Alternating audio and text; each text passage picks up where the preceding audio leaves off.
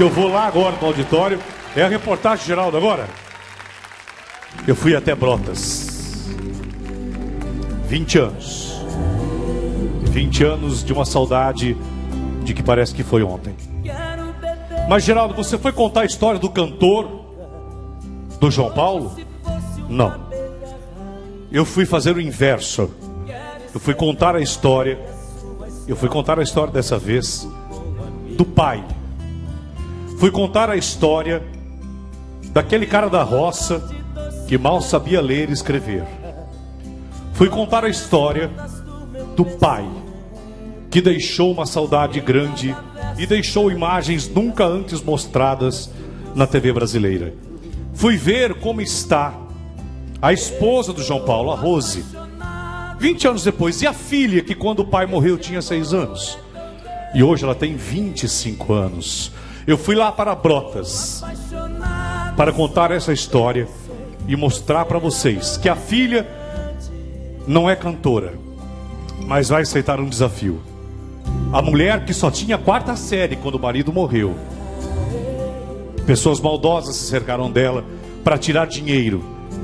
E ela, uma mulher que tinha só quarta série, hoje se tornou bacharel em direito. Essa linda história de como vivem mãe e filha de João Paulo, vocês ficam sabendo agora 20 anos de saudade. Eu quero ser só um sonho e nada mais. Depois disso, tanto faz. Uma noite pra esquecer de uma vida. Minha estrela perdida. Vinha Brotas contar a história de um homem que hoje vai ser revelado no seu detalhe como pai de família.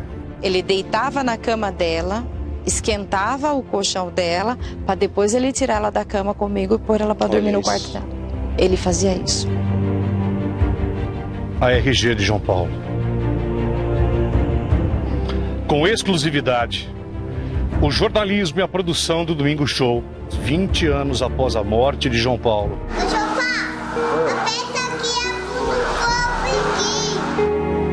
Às vezes ela olha pra mim e ela fala assim, Jéssica, quando olha pra você, olha pro seu pai. Aí eu falo assim, nossa, isso daí é bonito, véi.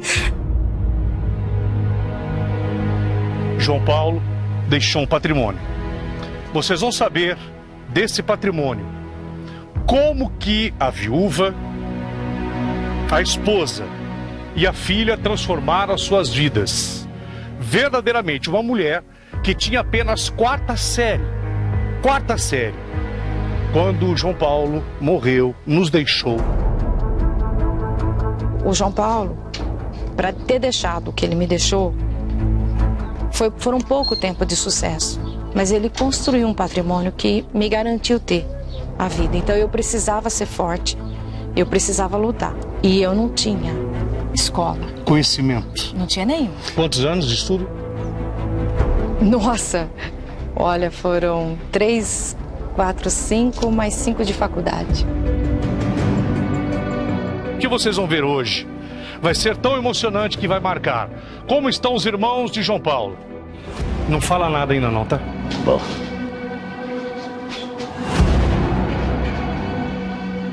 Gente sabia do que tinha acontecido, não tinha mais vida e foi triste. Pesado. Você vai conhecer o local aonde João Paulo conheceu a sua mulher. A história de amor de João Paulo de Rose começou nessa rua, numa quermesse. Graças a quem?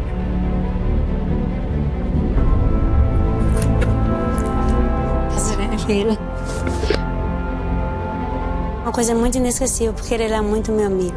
Antes mesmo de conhecer ela, eu conheci ele. E foi nessa rua que isso aconteceu. Que o tempo foi passando. Que isso aconteceu.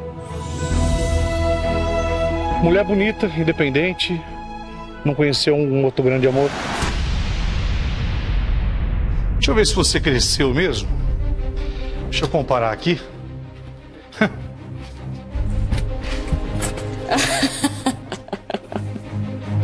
Você mudou, hein? Mudei bastante. Strong nossa. mulher. Linda, João Paulo. Seu orgulho. E tua mãe passou um ano, dois anos terríveis, né? Então, geralmente ela passou assim, tem épocas de depressão, né, muito muito forte, né? Queria chegar perto dela, essas coisas, depois aí, quando ela olhava para mim, ela chorava, né? Aí é uma coisa assim que foi meio triste. Eu tinha que cuidar da minha filha. E eu cuidei dela. Eu tinha, eu devia isso pro João Paulo. Ele sempre pediu para mim: "Cuida dela". E é o que eu mais fiz na minha vida. Foi cuidar da minha filha.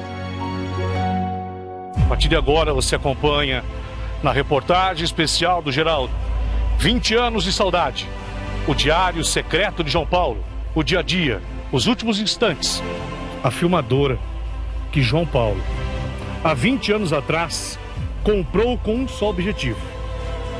Não só filmar os seus shows, seu sucesso, mas as imagens exclusivas de família. Ô, Jofá, aperta aqui. no nosso Domingo Show.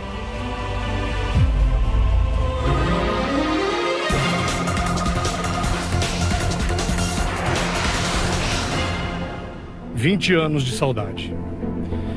Vinte anos que parece que que foi ontem.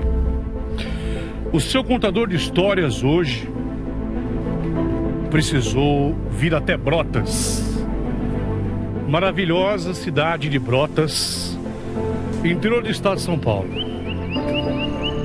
Terra das águas, terra das cachoeiras, terra da natureza, para contar a história consagrada de um homem que 20 anos depois nos deixou uma saudade enorme.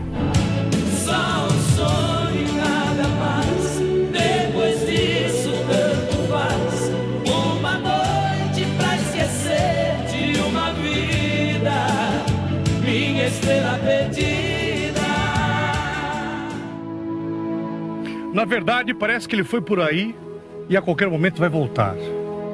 Não só pela sua música, pela sua vida, pelo seu amor à sua família, mas pela trajetória de sofrimento, luta e sucesso.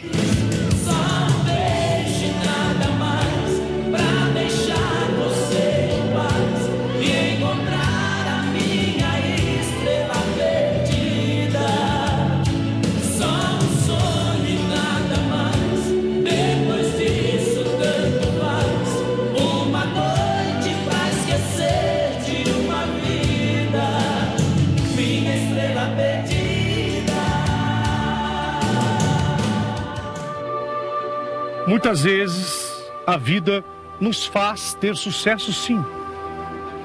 Conseguir os nossos desejos e sonhos. Só que muitas vezes, sozinhos, nós não vamos conseguir. Aí de repente, Deus e a própria vida consegue colocar uma outra pessoa em nossa vida. Uma pessoa que aparece e pronto. Eu me amarrei, eu me amarrei, tô amarrado nessa paixão. João Paulo e Daniel no especial sertanejo. Vim contar hoje a história de José Henrique dos Reis. O cantor João Paulo, todos conhecem.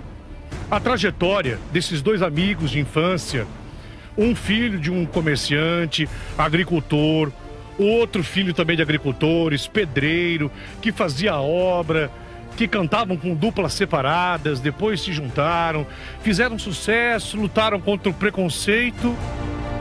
Isso o Brasil já sabe. Mas o que o Brasil ainda não sabe é a história por trás de um pai de família que amava sua esposa, que conheceu sua esposa numa quermesse, e que tinha, e que tinha uma paixão extrema pela filha.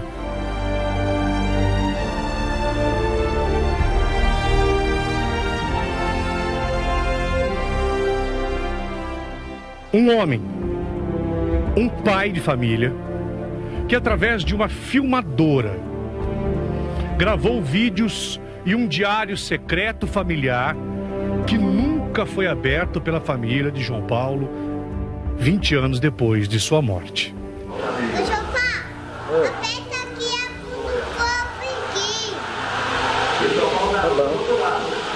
a-. Imagens exclusivas que o próprio João Paulo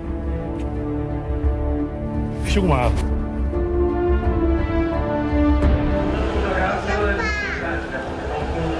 Um a mais, então a jogada de vai ser empatou, o Atlético ganhou, e o Fluminense empatou. Então, Essa filmadora que vocês estão vendo, a filmadora que João Paulo, há 20 anos atrás, comprou com um só objetivo: não só filmar os seus shows, seu sucesso, mas as imagens exclusivas de família.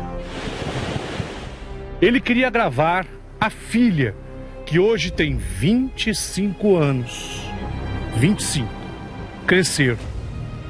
A mulher que fazia queijos aqui em Brotas, que conheceu numa quermesse cantando e disse: É a mulher da minha vida, que tinha acabado de se casar grávida com João Paulo.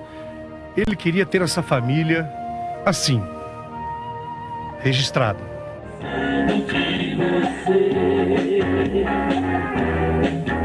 E você não está perto pra poder me ajudar.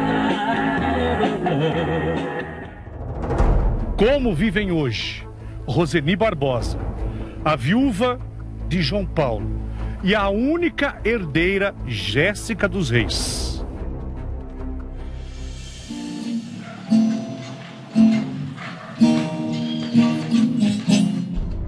A esposa na época só tinha a quarta série, nada mais. Nada. Como fazer para cuidar de um patrimônio milionário, um patrimônio de milhões? Terras e imóveis que João Paulo deixou. Acreditem vocês que essa mulher guerreira hoje se transformou em uma advogada. Saiu da vida que ela tinha para cursar uma faculdade, para defender os próprios direitos da família e também da filha. A filha para cuidar dos imóveis, das terras e dos bens do pai, acabou se tornando veterinária. Hoje, eu vim contar a história não do cantor, mas do pai, José Henrique dos Reis,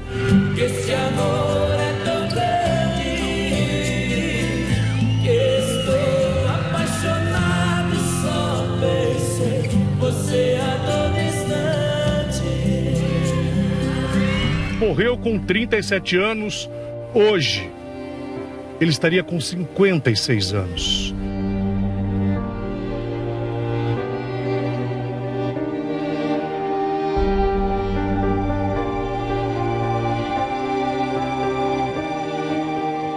Eu vim contar a história desse amor. A primeira paixão. Brotas, ano de 1986. Aquele amor de quermesse, aquele amor da pracinha, que acabou se tornando juras de amor e logo no casamento e num fruto. Uma menina.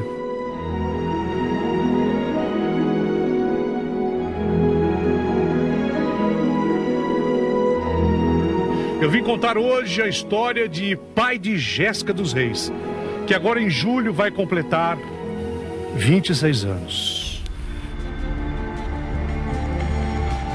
As duas que hoje têm uma vida muito simples aqui em Brotas vão abrir o seu coração e mostrar como que depois da morte do pai e do marido, tudo se transformou.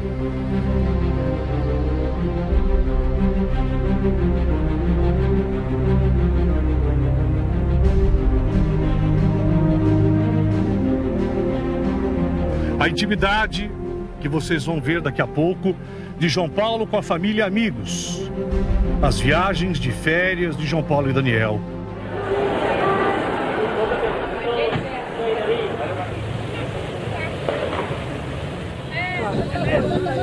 Freia! Ai, que Shows inéditos, todos eles gravados através dessa filmadora que pertencia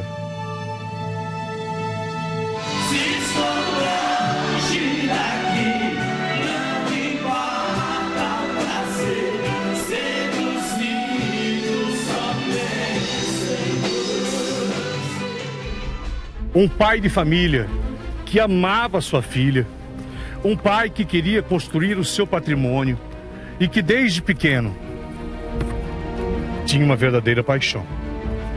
Jéssica aqui, aos três anos de idade, apenas três anos de idade. A história que eu vim contar aqui em Brotas revela a história de uma criança que aprendeu já com o pai desde pequena a gostar de música. Bastante gente é, vive perguntando assim, nossa Jéssica, mas você. Por que você não seguiu a carreira de, cantora? Às vezes deve ser o sonho do seu pai. Só que é uma coisa assim que eu pensei primeiramente em conseguir o meu sonho. Então, primeiramente assim, ó. Ai, gente, será que agora é o momento?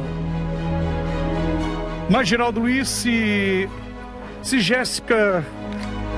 Se Jéssica gostava, ou se Jéssica aprendeu e cresceu juntamente com o pai a gostar de música, pai, por que, que ela se tornou veterinária?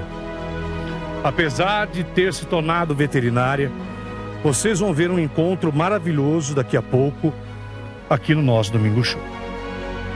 Vocês vão conhecer a princesa do sertanejo atrás da fama.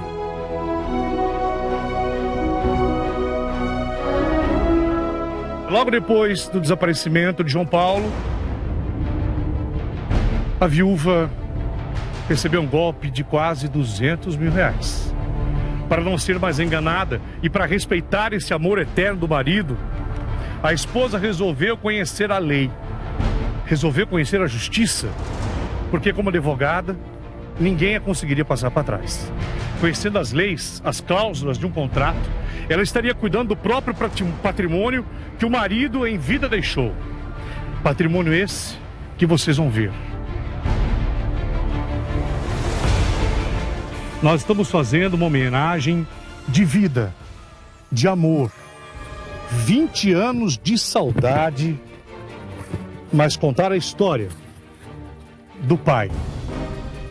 Hoje, não é simplesmente a saudade, mas uma homenagem cheia de vida, através de um homem que escreveu sua própria história diante do sofrimento. Imagine um pedreiro, um homem negro, lutando contra um preconceito, um rapaz que cantava junto com o irmão aqui em Brotas e que tinha como parceiro adversário o Daniel que cantava com outro parceiro. E aí o seu Camilo, pai do Daniel, quando descobriu, olha, tem um João Paulo, tem um rapaz aí, né, que forte, um negro de uma voz aí maravilhosa. E aí o seu Camilo foi lá, aí depois chegou pro Daniel e falou, Daniel, vou chamar aquele cara para trabalhar aqui na fazenda. Mas não vai ser só para trabalhar não. Vai ser Vem comigo, Francisco Paz. Vai ser também para cantar junto com você.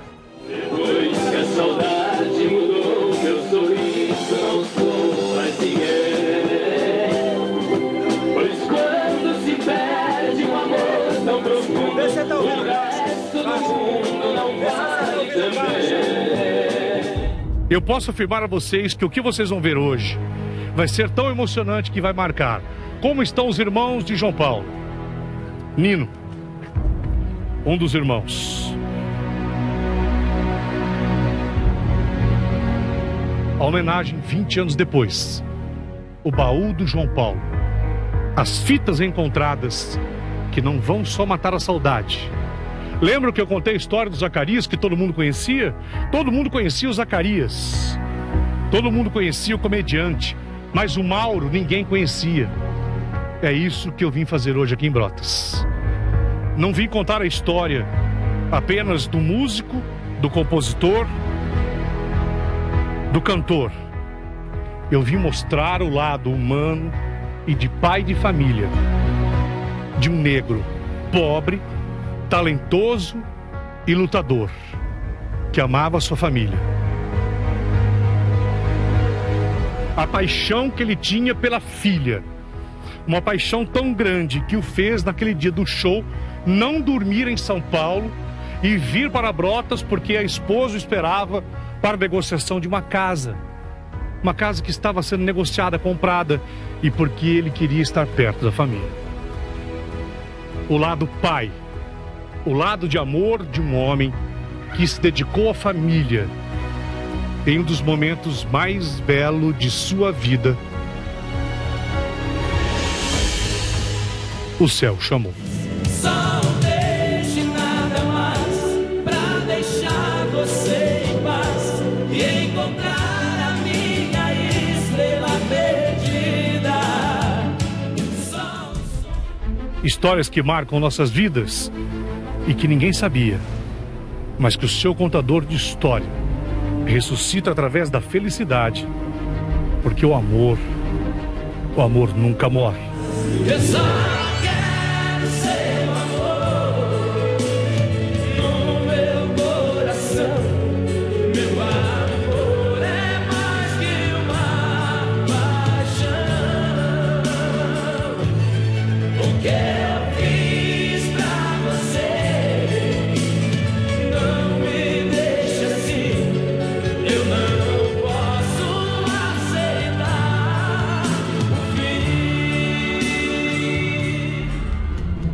José Henrique dos Reis, o nosso João Paulo, nasceu no ano de 1960.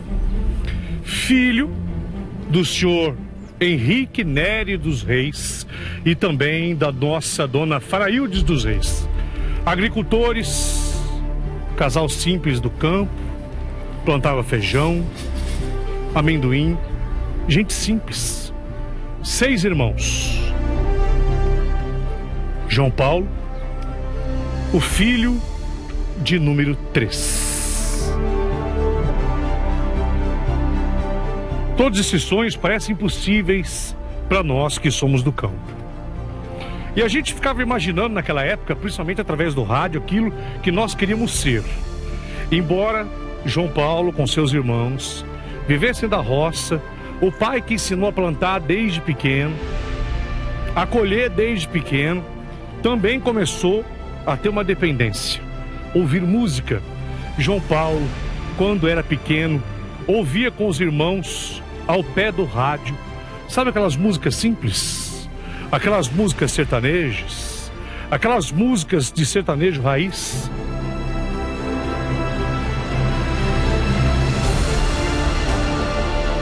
Nascia exatamente ali a vontade dos irmãos que ainda não eram pedreiros, mas queriam se tornar, através do trabalho difícil, o sonho em realidade. Ano de 1975, numa linha do tempo, João Paulo, na idade entre 10 e 15 anos de idade, forma uma dupla com o irmão. Nascia Nery e Nerinho, dois irmãos que viam, através do sonho distante do campo e também da dificuldade. Dois irmãos queriam começar a crescer, iriam formar uma dupla que fez sucesso na região de Brotas.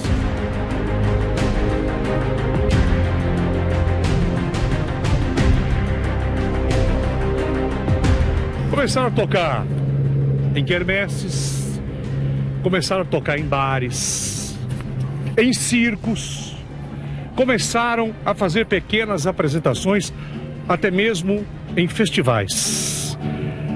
Vejam só que é a vida. Nos mesmos festivais aqui em Brotas, nos bares também circulava uma outra dupla. Adão e Daniel, o futuro parceiro de João Paulo. Veja a foto, Nery Nerinho.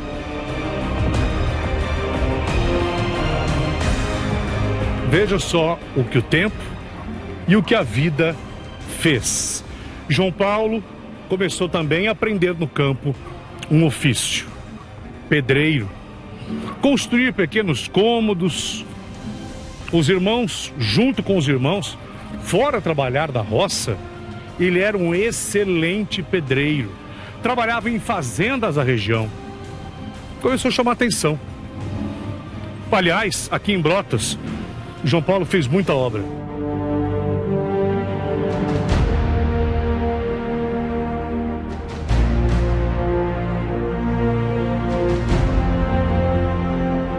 Do outro lado, um homem chamado Sr. Camilo, pai de Daniel, dono de caminhões, que queria também fazer o filho cantor. Sr. Camilo acabou chamando para trabalhar na sua propriedade o João Paulo. Porque viu naquele garoto, naqueles festivais, olha, esse João Paulo canta bem. É, mas ele faz uns trabalhos também aí, viu?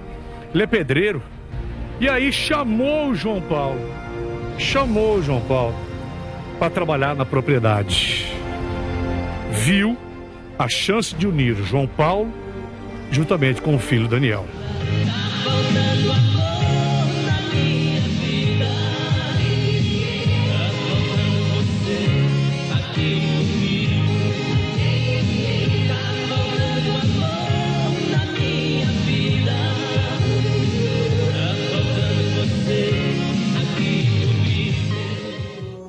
Nino, um dos irmãos.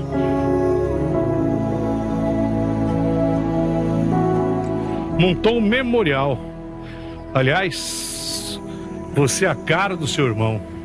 Melhor do que eu ficar contando a história do campo. Melhor do que eu ficar contando quanto a parede o seu irmão ergueu. Porque contando assim, Nino, eu falando, as pessoas podem achar que é mentira. Ah, tá, mas ele era pedreiro, mas só só fez uma obrinha aqui e lá. Mas não foi assim não, né? Trabalhou muito, né? Bastante sofrido e tá? trabalhado. Dizer, Geraldo,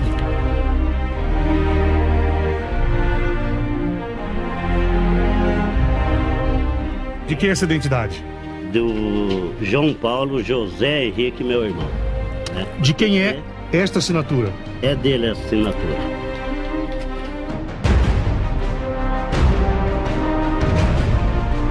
Se hoje estivesse vivo, 56 anos. 56 anos.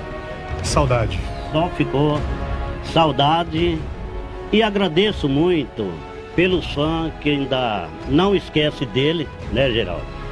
E que vem acompanhando de 20 anos atrás, ele tá aí. Mais vivo né? que nunca. Com certeza. Você sabe que eu não vim Né? falar de tristeza, eu não vim falar de morte, ao contrário. E também não vim falar do João Paulo, cantor. Eu vim contar a história é, do João, filho, dele como pai, dele como irmão. Então eu vim porque o músico, todo mundo já sabe, mas a história dele, como é, como ele era, Ele tinha um bronquite muito forte. Eu também João tive, Paulo. eu também tive. E você sabe o que que sarou ele, Geraldo? Bebeu um litro, quase um litro de querosene. Enquanto você vai falando aí, olha pra lá, eu vou buscar uma foto aqui dentro. Vai falando. Tá vai lá, vai falando. Minha mãe veio de encontro, ele tudo lambuzado, sem camisa, aquele querosene, tudo, coisa, falou, e agora? E, graças a Deus, sarou e sarou até o, o bronquite dele.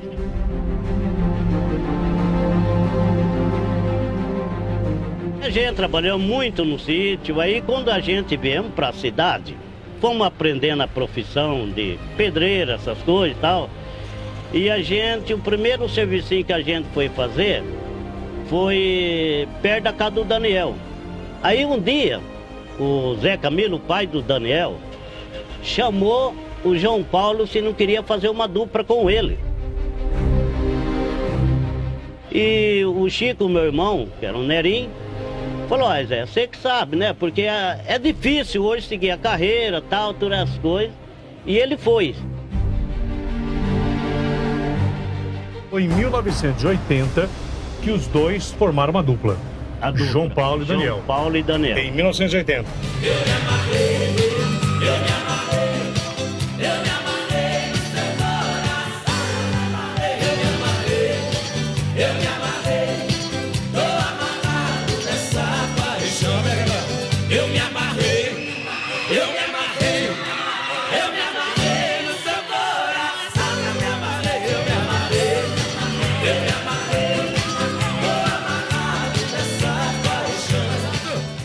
Tudo esses tempos na carreira, até que um dia,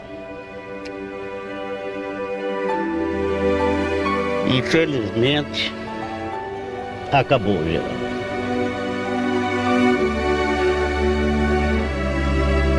Mas estamos aí, a gente lutando. Tenho certeza onde ele está. Ele está vendo tudo isso. E, e ele está num lugar melhor do que a gente. Sem pensar que um dia alguém me fez chorar, matou meu sentimento.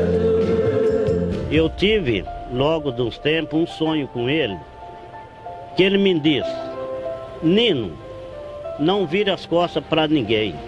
Quer dizer, alguma pessoa chegasse a perguntar, fã, que eu tivesse a representar ele. E é o que eu estou fazendo até hoje, quando puder. Essa foto que eu vou mostrar.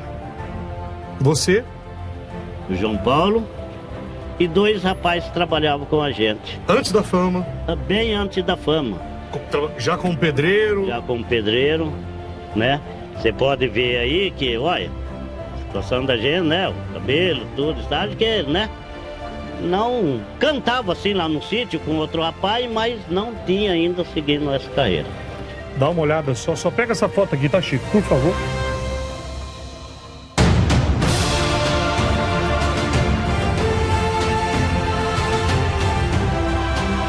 Aqui está o João Paulo. Não, aqui é você. É eu, Aqui é você. isso, O João Paulo João aqui. Paulo, E dois amigos de. dois amigos que trabalhavam junto com a gente. Muito tempo. E ele não chegou a ver essa foto. Não chegou a ver essa foto porque estava com um amigo meu e a gente também nem sabia. Aí um dele apareceu com essa foto aí, e a gente restaurando e tá aí de Relíquia. lembrança. Relíquia. Muito relíquia. Você sabia que o teu irmão tinha comprado uma câmera na época? Você lembra como era? Você lembra como era essa câmera? Não, não cheguei, não tem lembrança dela. A Rose nos entregou a câmera dele. É? Olha, E essa câmera, ela tinha várias fitas.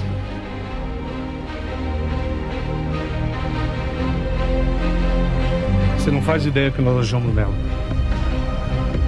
nem imagino. Nem imagino. O teu irmão gravou um monte de coisa nela. Ah, deve ter gravado, sim. Teu irmão gravou é, ele e a, e a menina, a Jéssica, ele trabalhando na, no sítio dele, ele cantando. ah, e eu vim mostrar essas imagens pra você. Essas imagens ficaram guardadas 20 anos. Quer dizer que você não lembra dessa câmera? Não lembro, não lembro. Então eu vou te mostrar ela agora.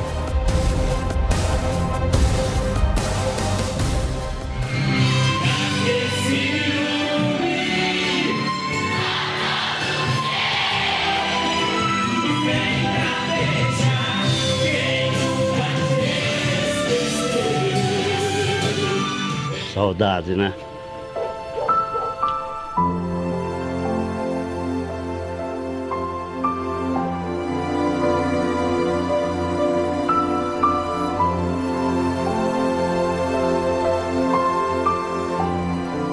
Vejam só o primeiro show da dupla João Paulo e Daniel aqui em Brotas em 1986. Quanta saudade. Vejam.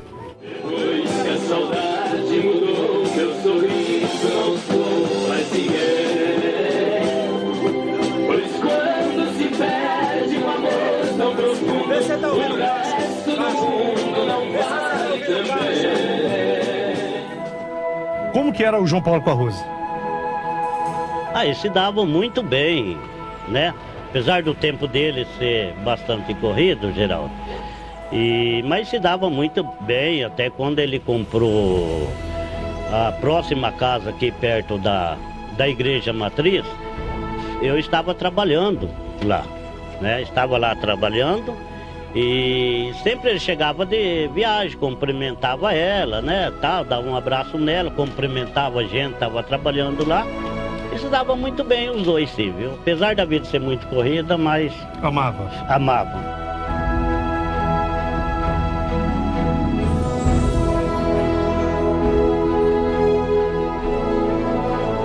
Aqui no bar você fez um memorial pra ele, é? Você fez aqui um. Tem muita Tá. coisa sua aqui, né? Tem, tem bastante. Tem muita aqui coisa dele. Tem muitas coisas Você me dele, mostra? muita- Vamos Vem lá. cá.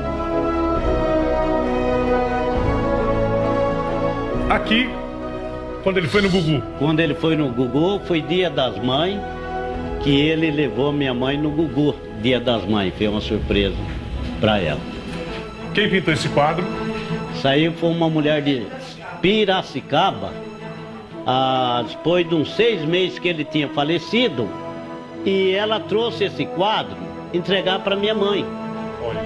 Mas minha mãe não teve coragem de ficar com um quadro desse, né? Sendo um filho, né? Aí, daí ficou pro meu irmão Francisco. Aí ele acabou falecendo também. Aí passou pra gente.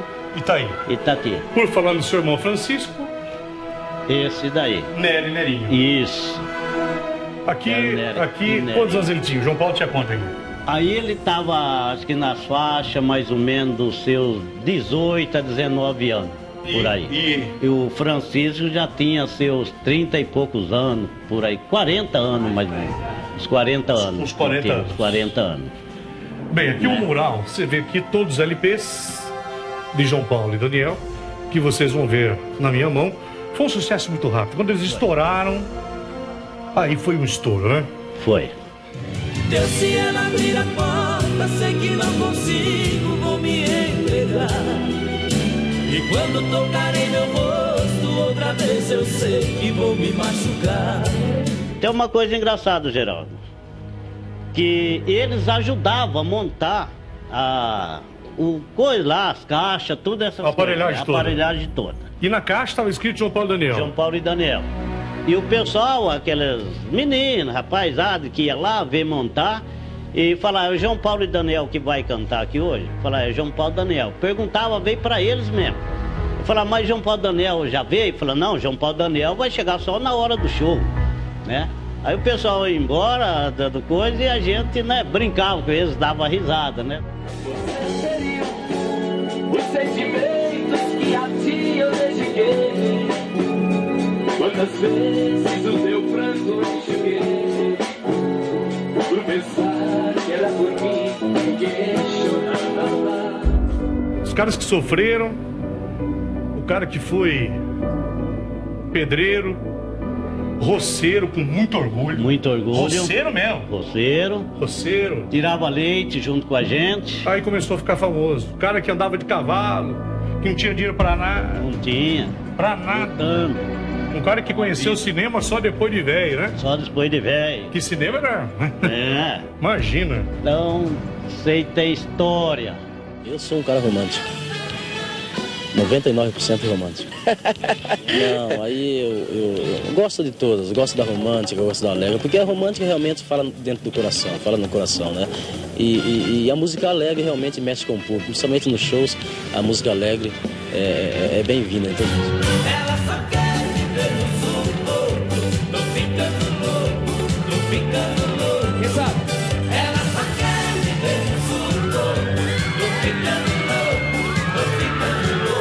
Pouca gente tem coragem de falar hoje, mas lutou contra um preconceito muito grande, porque teu irmão negro. Ah, mas será que. E é verdade isso. E o Daniel sabe disso. Será que um branco, um negro. Será que isso vai, vai dar? Na época, porque o preconceito sempre existiu no mundo. Sempre existiu. E na época eles brigaram e o talento deles venceu o preconceito. A voz deles venceu. Eu só quero seu amor no meu coração. Meu amor é mais que uma paixão. É de arrepiar o que vocês vão ver agora. Não fala nada ainda não, tá?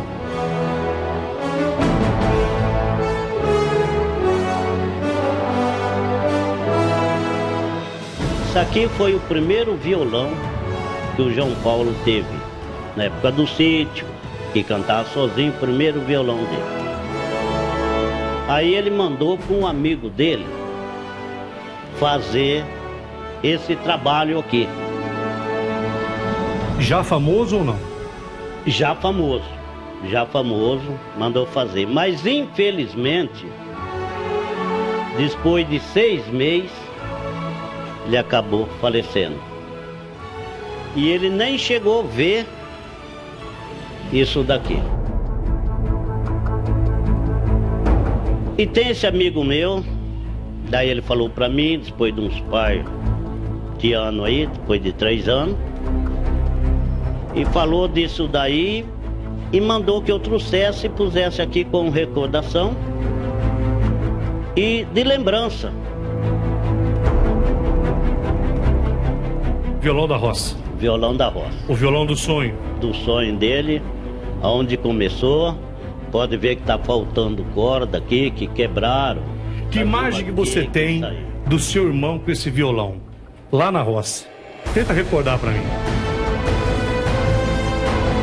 Desse lá da roça, chegava à tarde, somente assim de final de semana, veio durante a semana, e eu vinha para a cidade, né? A gente já era mais adulto, essas coisas, então a gente vinha para a cidade. E eu chamava ele para poder ele vir junto comigo, vamos para a cidade, Zé. Ele falava, ah, não, não vou não, vou ficar por aqui mesmo. E tinha um colega meu que morava num sítio vizinho, o nome dele é Valdir Furlaneiro. Ele vinha lá em casa lá e ficava os dois até enquanto desse para enxergar, cantando os dois debaixo de uma árvore, né? E ficavam os dois lá cantando lá. Quem é a senhora? Tudo bem? Tudo bom. Sua graça? Ieda. Tudo bom, Ieda? O que, que é essa jaqueta, Ieda? É do João Paulo.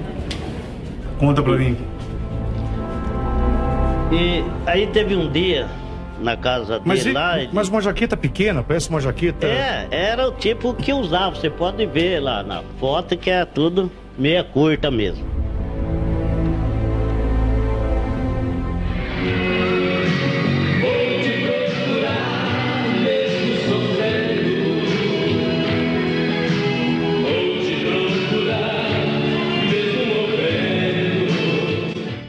É muita recordação. Bastante, Geraldo. Você vai querer ver essas imagens que nós recuperamos do teu irmão, que ele próprio filmou? Gosto.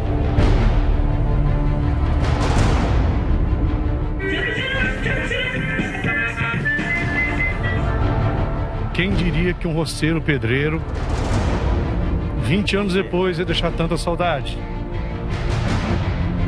Da família, foi eu a única, a última pessoa que falei com ele.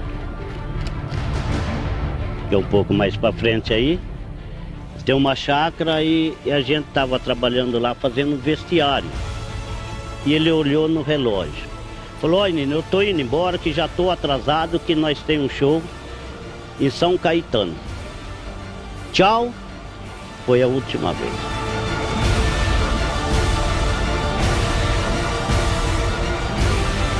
De madrugada, recebemos a notícia.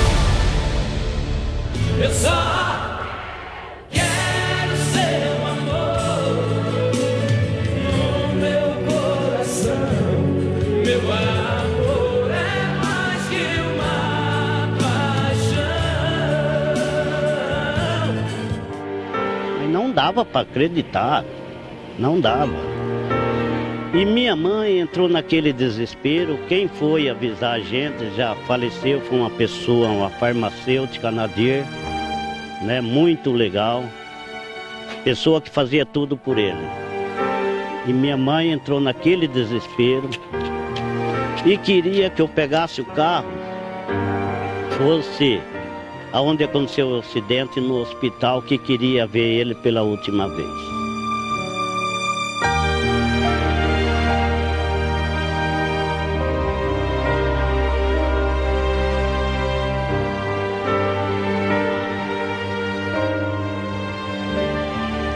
Gente sabia do que tinha acontecido, não tinha mais vida e foi triste. Pesado.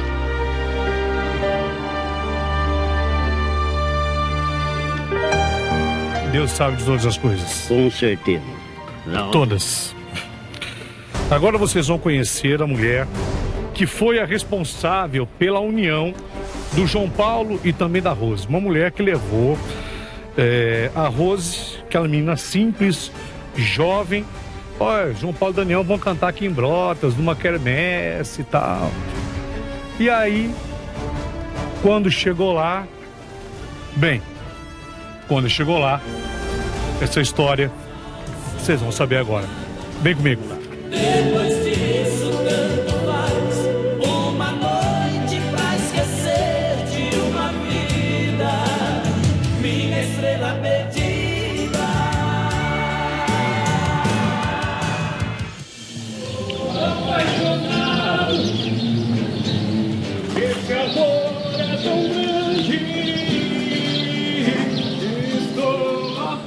Uma história que começa exatamente assim. Se eu disser para vocês, era novembro, ano de 1986. Exatamente onde estão os nossos dois atores. Nessa rua tranquila, calma, pacata, onde tem uma igrejinha até hoje, acontecia uma quermesse. Era o mês de novembro. Prefeitura fechava a rua aqui e o divertimento do povo, olha, vai ter a quermesse na igrejinha. E o povo aqui da comunidade, da rua Deputado Salles Filho, todos vinham aqui, todos vinham aqui, barracas, maçã do amor, frango, quentão. João Paulo e Daniel, começando a carreira, lutando para serem felizes, um ano, um ano.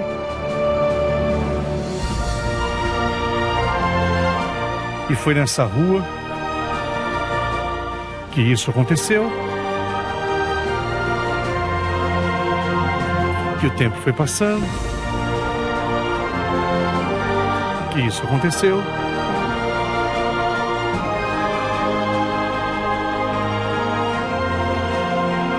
Aqui nessa rua. Depois disso aconteceu o casamento. E depois, a princesa. A história de amor de João Paulo e de Rose começou nessa rua, numa quermesse. Graças a quem?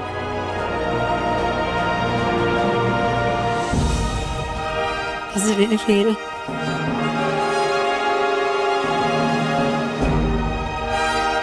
Tudo isso aconteceu. Tudo isso aconteceu. Nessa rua. Nessa rua. Eu vim aqui contar uma história que nunca foi contada, né? Não a história do cantor. A história do amor, do pai, do marido, que até hoje ninguém esquece. É inesquecível. Todos nós. Como que você se sente 20 anos depois, sendo a ponte que uniu Rose, não o cantor, mas o grande amor da vida dela que até hoje ela não esquece? Olha, eu me sinto às vezes alegre por ela estar aqui, por eu estar aqui, pela filha dela. Mas é uma coisa muito inesquecível, porque ele era muito meu amigo. Antes mesmo de conhecer ela, eu conheci ele. Na minha casa ele passava, ele dizia, Nissinha, eu quero café. Nissinha, eu vim tocar, cantar um pouco com seu filho, que eu tenho um filho que toca violão. E ele também queria muito eh, fazer dupla com Elson, mas assim, dia a dia, a dia para distrair, a distração dele. E passava lá. E foi lá então que ele conheceu ela.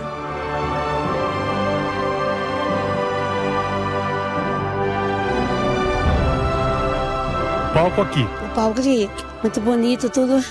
Até estava um pouco cansada, mas ela, ela, ela se admirou Mas a gente via que ele cantava, mas a, o olho dele ficava fixado nela. Terminando o show, eu falei, Rosa, eu vou embora. Ela falou, você vai embora? É, vamos embora logo antes, senão ele vai dar carona pra gente, vamos embora. Eu falei, se ele der o carona, eu vou pegar. Vou pegar carona com ele sim, porque é longe, eu tô cansada. A gente virou, nós viramos aquela esquina ali, ó. Aquela esquina. Ele já tinha pegado o violão, já parou em cima da gente e disse, entra aqui, eu vou te levar. Ela, eu não entre, eu vamos entrar. E ela não entra, vamos entrar. A Rose não queria. Não, de jeito nenhum. Temosa, não queria entrar por nada naquele carro. Falei, Rosa, eu tô cansada, vamos entrar. E ela então ali entrou. Ela queria me pôr na frente. Eu falei, não, você vai na frente, eu vou atrás, né? Que carro que era, você lembra? Era um Fuscão. Fusca? É, é aquele tal de Fuscão, sabe? Mas que cor que era o Fusca? Era branco. E os dois dentro do Fusca. Dos anos Fusca. Mas... Você saiu e os dois na frente de casa conversando. Sim, mas depois, cada minuto ou três minutos, eu dava uma olhadinha assim pela porta, ela tava agoniada pra voar fora. E ela depois até me falou, ela sempre largou sozinha, ficou brava, depois ela gostou, sabe? E aí depois, quando ela saiu, o que, que ela contou? Ela contou pra mim que ele era lindo, que gostou dele e que, nossa, como era bonito, como era. Mas eu disse: você nem na mão dele pegou, você nem na mão, você me largou sozinha lá, eu nunca mais saio com você. E quanto tempo depois começaram a namorar que, você, que ela chegou pra você e falou: amiga, tô namorando o João? Ah, demorou, viu? Demorou uns meses pra ela falar isso pra mim. Porque eu ia buscar ela na fazenda dele e ele fazia, deixar todo o meu serviço, até a minha intenção de te contar. Deixar minhas cadeiras pra cima, todo o meu serviço que era doméstica, pra ir pedir pro pai dela, a mãe dela, deixar ela pousar em casa. No intuito dele ver ela, fosse um pouquinho de longe. Aí outro dia ele veio pra chamar ela pra ir ao cinema.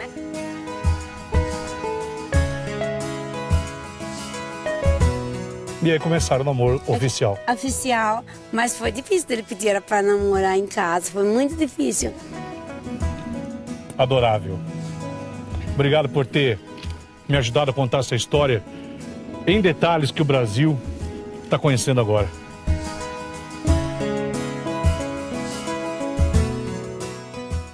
No mesmo canto, na mesma esquina, na mesma posição, está mais bonita, está mais forte, está mais inteligente. A mulher que só tinha quarta série, que se formou advogada, não só para defender o bem material que o marido deixou, não. Para provar a si mesmo a sua capacidade. Para provar a si mesmo que ela poderia ser capaz de melhorar depois do desaparecimento do marido. Da responsabilidade de uma mãe que ficou sozinha com uma filha que ela tinha o dever de cuidar e também de ensinar. Rose é o exemplo da própria vida, de que a vida continua. No mesmo canto, onde tudo começou,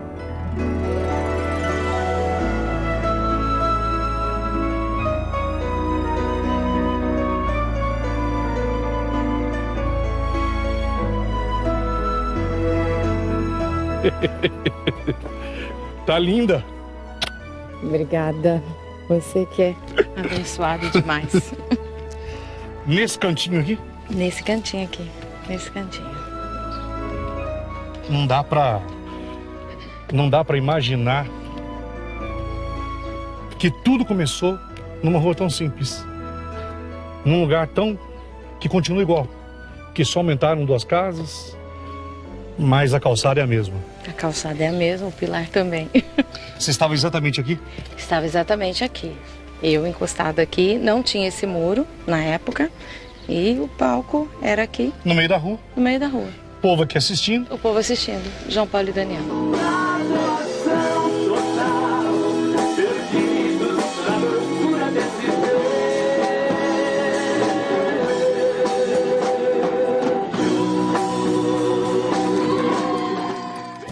Dupla que cantava na cidade, que tinha gravado o primeiro e o segundo LP na época, e só. Tudo que a Anistinha acabou de contar pra mim é verdade? tudo, tudo que ela contou é verdade. Você deu um banho nele desse jeito, assim, de tanto tempo? Por que tanto tempo? Geraldo, meu pai era muito bravo, muito sistemático. A Nicinha ficava morrendo de medo, porque ela falava: seu pai vai brigar comigo, sua mãe não vai mais confiar em mim. Então tinha tudo aquele. Aquele, aquela, aquela proteção, sabe? Aquela preocupação, né? Tipo, ela vem para a cidade, mas ela tá, tá, tá cuidada, tá, tá bem. Quando nós chegamos aqui, o show já havia começado, né? Ele já estava no palco cantando. Aí eu cheguei, enco- encostamos aqui, porque tinha um pessoal mais à frente e tal, e ficamos assistindo o show. Aí, de repente, ela dá um- uma cutucadinha e fala Aqui. assim... Aqui. Eles lá. Eles lá.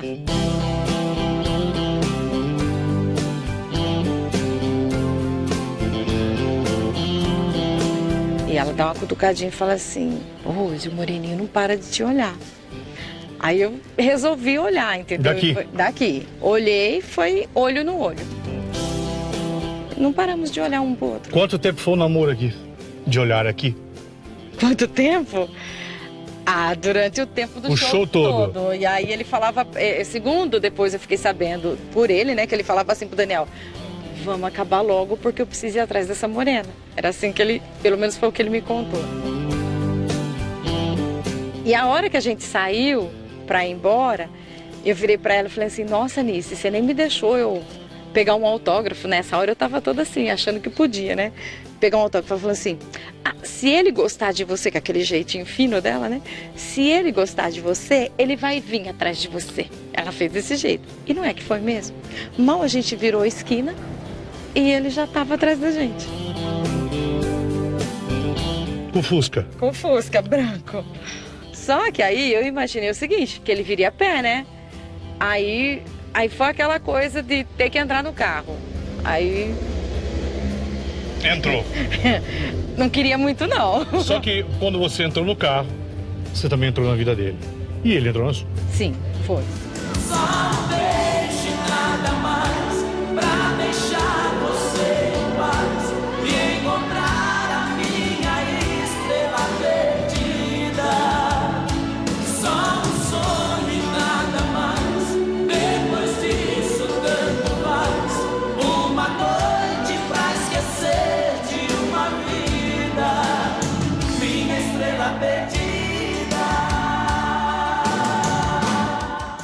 Quatro anos e meio, mais ou menos, né, de namoro, quase cinco anos. Convivi com ele 11 anos. Uma vida, concorda? Ah, foi, foi sim. Casamento aconteceu em 91. 91.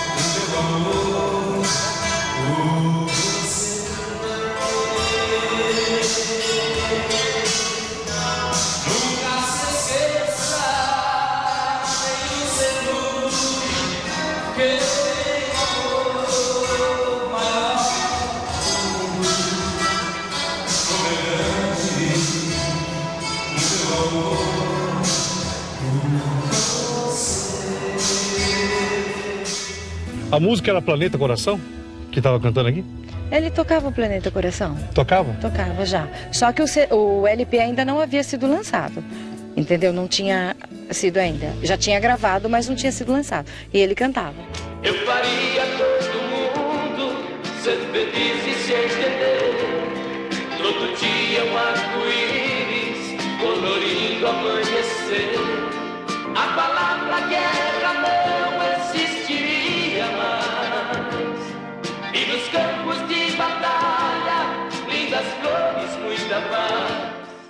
Tinha muita gente aqui na hora? Ah, tinha um pouquinho sim, pelo, pelo tamanho do, do, do bairro em si, pela quermesse, porque é um bairro mais afastado da cidade. Tinha sim. Qual a principal imagem que te vem aqui, Rose? A, a imagem que me vê é os dois no palco. É o que eu, que eu lembro, assim, entendeu? Pra ser bem sincero, Geraldo, eu não lembro de mais nada. Aquele dia eu cheguei aqui e eu me encantei por aquele negro. Bebo mais um trago e não vejo mais nada. Depois de adormeço, vem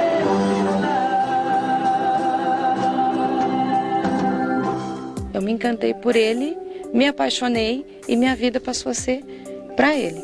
A partir daquele dia. Amor à primeira vista? Amor à primeira vista. Seu primeiro homem? Também, sim. Eu vejo que você tem ele até hoje guardado pra você, né? Eu tenho, eu tenho, porque ele foi uma pessoa muito especial. Ele foi uma pessoa assim.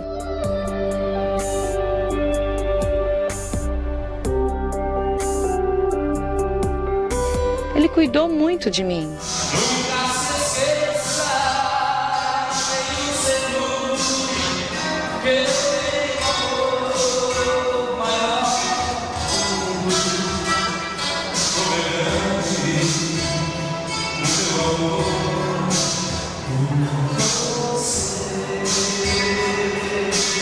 Me leva na esquina onde, onde ele parou com o Fusca. A esquina é mais. Tu lembra? Lembro, vixe, se lembro. Não tem Tudo- como esquecer. Você sabia que ele vinha atrás de você ou não? Não, não, Hum. não, não sabia. Eu queria, lógico, mas não sabia. Na verdade, o olhar é uma arma, né, né Rose? É, o olhar é tudo, né? O olhar é tudo. Você caminhou tu- tudo isso aqui? Caminhamos, Ah, entendeu? Pode ir, Francisco menos- Paz. Ah, E mais ou menos ali na frente, ele já chegou hum. na gente e pediu para falar comigo. Foi meu dia, Foi seu dia. foi meu dia. Era o mês de novembro, né? Novembro. Por volta do dia 20, 25. O dia exato, assim, eu não lembro. Mais ou menos aqui, viu, Geraldo? Você, mais ou menos aqui? É. Vai vendo quando um homem quer. Parou o Fusca aqui, às vezes aqui. É. E aí pediu pra falar comigo. Tava eu e ela. Começou aquela história, tipo, entra aqui que eu vou dar uma carona pra vocês. E, e aí foi onde eu não queria entrar. Na verdade, não foi uma carona. Era a viagem da sua vida. Foi, foi. Uma grande Verdade, viagem. Foi. Verdade. Você estava entrando na vida dele e na tua. Exatamente isso. É. Então quer dizer que você se tornou advogada. Eu sou bacharel em direito. Eu ainda eu não me considero uma advogada. Agora, você pode ser sincera comigo? Posso? É verdade que você resolveu estudar e para se defender, porque depois da morte dele muita gente apareceu, né? Aquela coisa de sabe como que é, né? Geraldo, na verdade, foi assim. Dois anos, por dois anos, quando o João Paulo faleceu, eu não vivi. Eu falo que eu fiquei num estado vegetativo, Reclusa. totalmente. Então, as coisas aconteciam, entendeu? Eu não, eu não posso falar pra você assim, o primeiro ano como que foi, porque o primeiro ano pra mim, eu não sei como que foi. Eu vivia dopada mesmo, tomando calmante e, e foi uma, uma situação muito difícil. Aí eu procurei uma psicóloga aqui já, né, em Jaú, e falei assim que eu precisava ajudar minha filha. Como que eu ia fazer para ajudar minha filha? E ela era muito pequenininha, porque quando o João Paulo faleceu, ela fez seis anos. Eu precisava ajudar. E, e aí ela falou assim, olha, você precisa se livrar desses calmantes que você toma, você precisa dar mais atenção para ela e vamos ver como que a gente pode fazer. Eu falei, então tá. Foi aí que eu vi que eu precisava acordar, entendeu? Porque se eu não tomasse a frente e fosse cuidar das minhas coisas, cuidar da minha filha, eu perderia minhas coisas, tudo que ele lutou. É muito difícil falar dessa época, né? Era uma época que ele lutou muito, né? Ele lutou muito, João Paulo. E ele lutou, ele pensou sempre na gente. Eu precisava lutar, como eu disse para você. Eu precisava lutar pela minha filha e pelas minhas coisas que eu estava perdendo tudo. E eu não tinha escola, Conhecimento. não tinha nenhum. Conhecimento contratual, contra, é, conhecimento financeiro, de, de- se alguém chegasse com qualquer documento, se corria, se corria na época o risco de. Perder tudo. Eu assinei documento, eu foi, eu perdi muita coisa. Verdade, Agora? Verdade, verdade. Me desculpe, quando me falaram, eu cheguei na época a não acreditar, sabe? Como que pode ter pessoas capazes, de um momento de dor, aproveitar e tirar de alguém diante da dor. Mas, é, infelizmente, é o que ocorre. Infelizmente. Tem gente para tudo, Geraldo.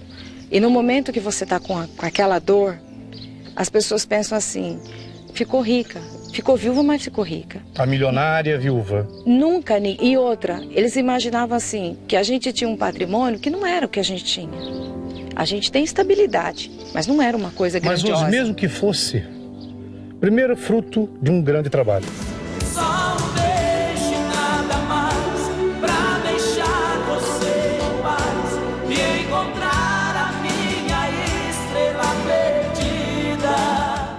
E esse dinheiro que você perdeu foi muito? Chega a quase 200 mil na época. Mas só que 200 mil na época Era dinheiro em 97. é, valia. Era muito. Meu Deus do céu. Mas foram coisas assim, negócio mal feito, e as pessoas eh, tirando proveito. Então, surgiram muitas coisas na minha vida, muitas coisas. E foi isso que fez se despertar para ir estudar? Isso sim me motivou. Geraldo, eu vou falar uma coisa pra você. O primeiro dia que eu entrei na escola, eu escutava. Era, foi, foi muito triste, eu, eu quase que eu desisti. Eu vi e falava assim, mas essa não é a viuvinha? Que era assim, que eu era denominada, né?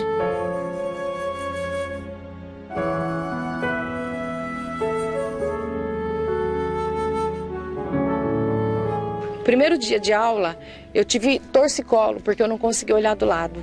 Eu não conseguia conversar com ninguém. E eu assumi, encarei e fui em frente, graças a Deus. E com isso eu motivei a minha filha, que ela tinha que também lutar pela vida. Eu acho que de tudo que eu fui fazendo, foi uma forma de eu motivar a Jéssica que ela poderia encontrar dificuldade na vida. Minha mãe, ela foi assim, de tirar o chapéu, né?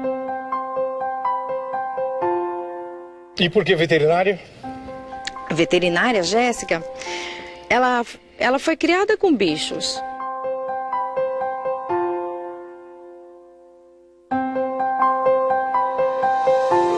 O Fusca não parou aqui? Parou. E olha onde você veio parar. Os dois não cantavam numa rua, num palquinho? Cantava. E foram para onde? Atingiram o sucesso.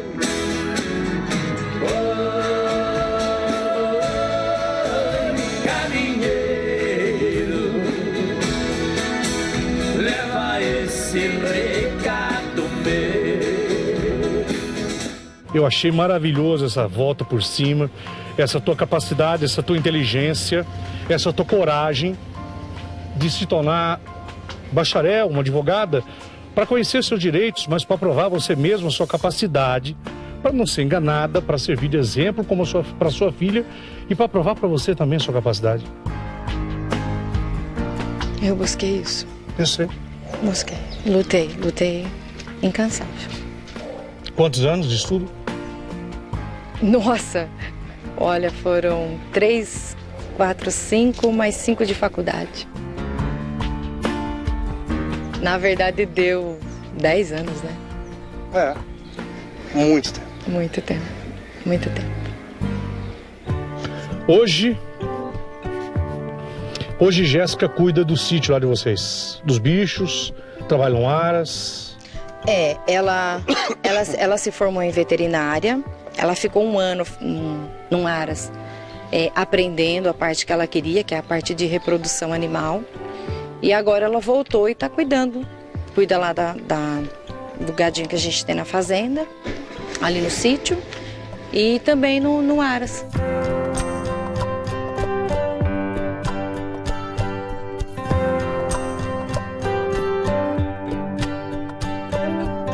Um dia me perguntaram o que, que a Jéssica era para mim. O João Paulo era vivo ainda. E ele olhou, antes que eu respondesse, ele, falava, ele falou assim: um presente de Deus. E realmente, a Jéssica foi um presente de Deus. E era um xodó essa menina pra ele, né?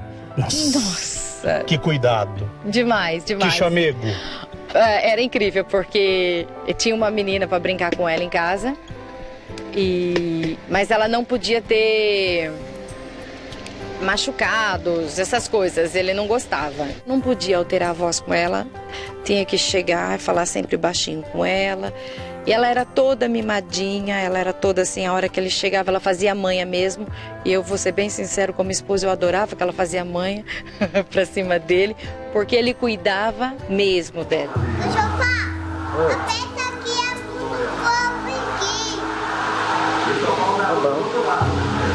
Ele chegava de madrugada, ele ia lá no quarto dela, ele deitava na cama dela, esquentava o colchão dela, para depois ele tirar ela da cama comigo e pôr ela para dormir no quarto dela. Ele fazia isso. É umas coisas assim. Ele foi um pai. Eu acho que é, se ele tivesse vivo, acompanhado o crescimento dela, ele, ele teria sido um pai maravilhoso. Eu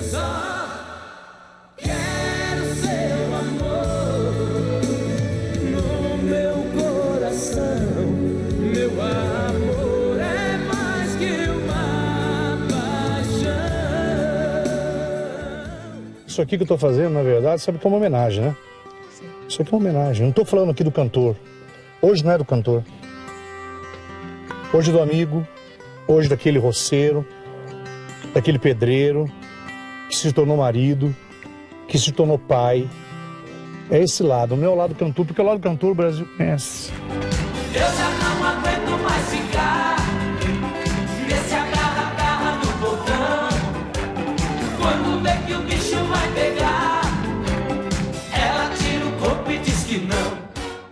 Só quero que você confirme uma coisa pra mim, que às vezes a gente fala e as pessoas em casa com tanta coisa, né? Ah, esse pessoal de televisão fala demais. Só bem, fecha a janela só pelo sorriso. Acho que eu já. Vocês querem ainda a resposta depois desse sorriso? Ah, Brasil. Mas só pra verem que esse programa é sério. De quem é isso aqui? Do João Paulo. é show de bola. Esse aqui é. Ele era muito. Ele gostava muito dessas coisas de, de foto, de filmadora e tudo que surgia na época, porque isso aqui é de 90 e. Isso aqui na, na época era... 93. Era uma coisa assim. E, e aí ele comprou para poder fazer as filmagens. Ele gravava tudo.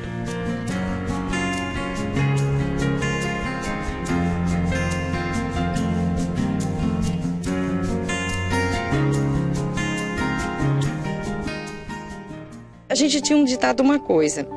Quando nós compramos a fazenda, nós compramos também duas cadeiras.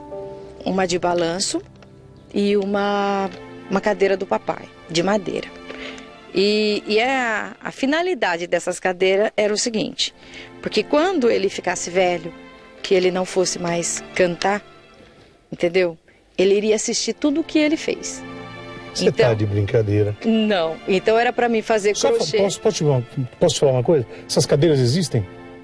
Existem. Você vai ter que me mostrar. Hoje, hoje eu consigo conviver com a ausência, entendeu? Mas eu sei que um dia a gente vai se ver, um dia a gente se encontra, entendeu? Tenho certeza disso.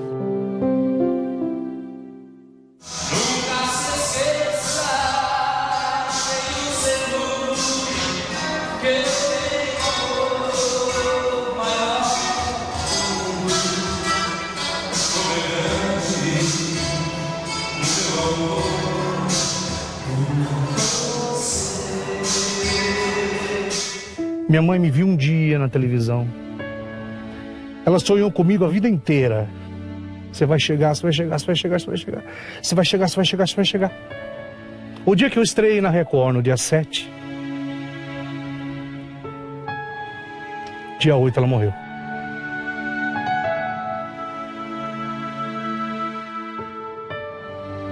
Eu falei, impossível que a morte ia matar uma mulher daquela. Olha. Não.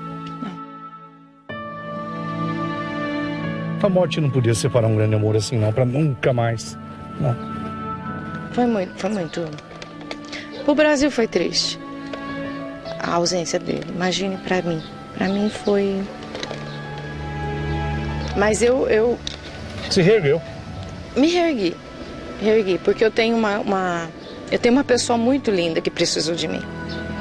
Entendeu? Eu acho que eu fui, eu fui capaz de, de conseguir passar o que eu passei, que não foi fácil. E eu fui por causa da minha filha. Da onde ele veio, como o João Paulo, foi uma pessoa que aprendeu a tocar violão sem nunca ter feito uma aula. Ele aprendeu a cantar Sem professor. sem professor, sem nada, um menino humilde. Ele era pedreiro. Ele, é, ele custeou, ele pagou as despesas da, da minha gestação, de, de, de cesárea, de parto, essas coisas, com serviço de pedreiro. Mesmo ele cantando, ele não deixou de trabalhar. Cadê a Jéssica agora? A Jéssica, Geraldo, a Jéssica está tra- trabalhando no Aras. Hoje é dia dela ir pro Aras.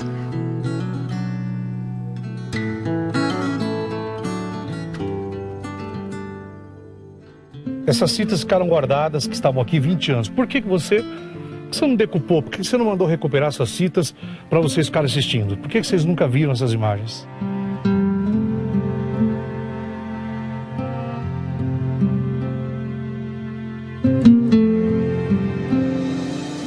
É uma pergunta difícil.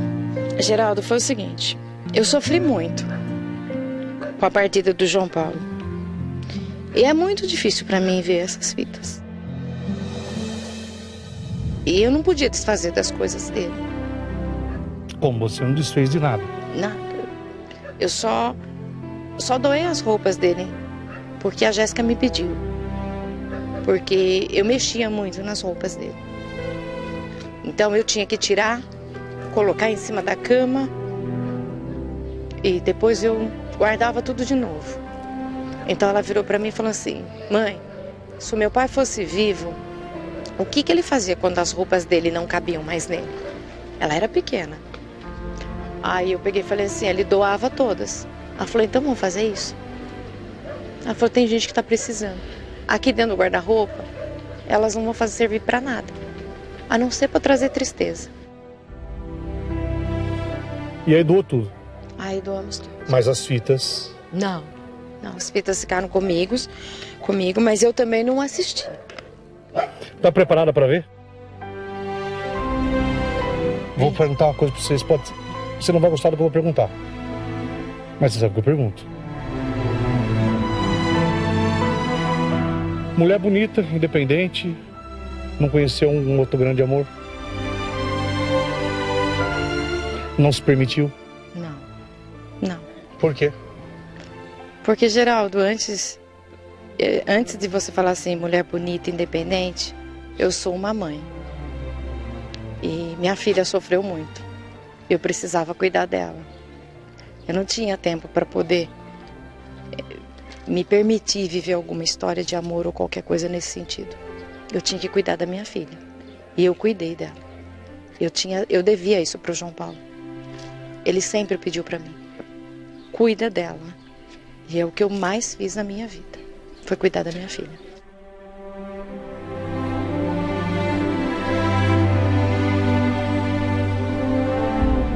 Onde foi aqui? Ah, isso aí foi um, num programa de televisão. Num, que a gente, que ele levou, a gente, ele levava a gente, né, pra tudo. Olha só. E aí ele tava comendo alguma coisa com ela, como sempre. Porque ela comia com ele, né? Comigo não. Tinha isso também. Até isso. Até isso. Essa é, vontade dele de filmar as coisas, de tirar foto, é para poder acompanhar o crescimento dela, o desenvolvimento dela.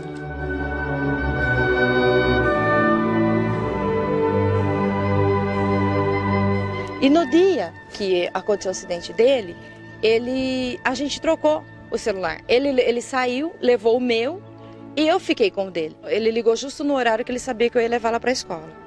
E aí ele conversou com ela e eu escutava ela falando dentro do carro: João Paulo, eu te amo. Fica bem. Quando eu peguei o celular, ele estava chorando. Eu falei: alguma coisa que está acontecendo com o João Paulo, que o João Paulo não está bem.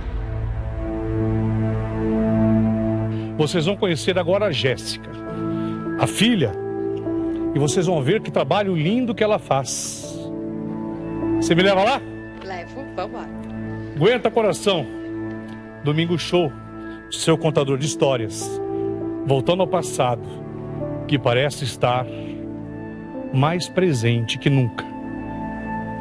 E aquele novembro daquela quermesse continua exatamente aqui, principalmente no coração daquela mulher. Foi embora e agora voltou. Deus, se ela abrir a porta, sei que não consigo, vou me entregar. E quando tocar em meu rosto outra vez, eu sei que vou me machucar. Deus, eu tenho tanto medo de sofrer de novo, me apaixonar. Ela tem o dom de me fazer chorar. Que lugar, hein? Esse lugar é lindo, né? Como eu te prometi, a Jéssica, ela trabalha aqui. Ela... Tem um Aras aqui. Aqui é um Aras. Aras do Dr. Paulo Auler. Doutor Paulo, parabéns pela propriedade. Que eu vou dizer uma coisa, doutor Paulo. O senhor não tem uma propriedade rural, não. O senhor tem um canto do paraíso.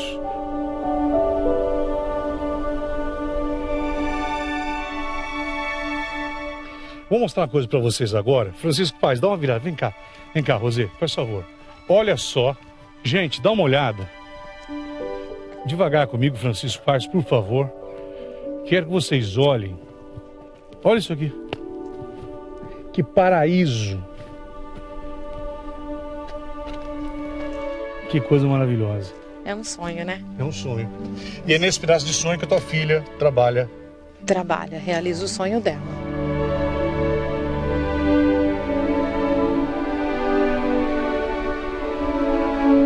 Agora, a pergunta que todo mundo está falando que o Brasil está fazendo. Mas mãe, por que, que você não obrigou sua filha a cantar igual ao pai? Se tornar cantora, não tinha que ser veterinária, tinha que cantar. Sabe aquela obrigação, aquela herança de se o pai cantar, se a mãe cantar, tinha que cantar. Na verdade, a minha casa era silenciosa. E um dia eu muito. Eu estava triste na minha casa e de repente eu escutei um barulhinho de violão. E a Jéssica, nessa época, ela devia estar com uns 10 aninhos mais ou menos. E aí ela. Eu saí da cozinha, entrei na sala e ela estava tocando o violão, tentando bater, pegar o violão. E a partir daí, eu minha casa deixou de ser silenciosa. A partir daquele dia eu respirei, a partir daquele dia eu voltei a viver. Eu ensinei para Jéssica que a vida de artista não é uma vida fácil. E o pai dela sofreu muito.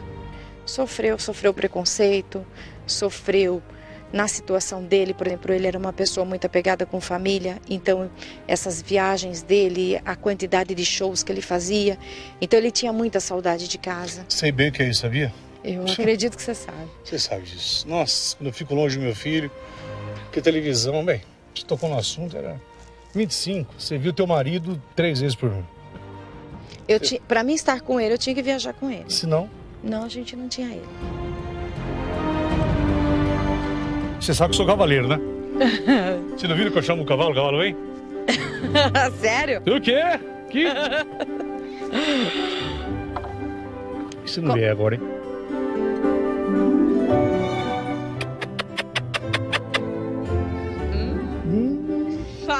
Hum, é. Melhor continuar contando a história Vamos. na televisão. Aquele é o Cristiano? É, ele vai te levar até onde a, te conduzir Ah. até onde a Jéssica está. E aí, Cristiano? O que você faz aqui? Eu trabalho com os cavalos. Que é o cocheiro? Cocheiro. Ah, é? Então quer dizer que a Jéssica cuida bem dos animais aqui? Ideal é que é veterinária aqui. Olha isso, ó. Quantos bichos ela cuida aqui? Tem uns 46 cavalos aqui e três garanhão. Tá com 25 anos ela hoje, né? 25. Segura. Ah, Então quer dizer que a senhora é apaixonada por animais. sim, bastante. Por que? Fica aí, por favor. Por que, que você não foi cuidar de cachorrinho? Na verdade, assim, sabe, eu sempre tive, desde criança, uma certa paixão por cavalos, né? Eu sempre gostei muito, assim, da parte de fazendas, essas coisas assim. Deixa eu ver se você cresceu mesmo. Deixa eu comparar aqui.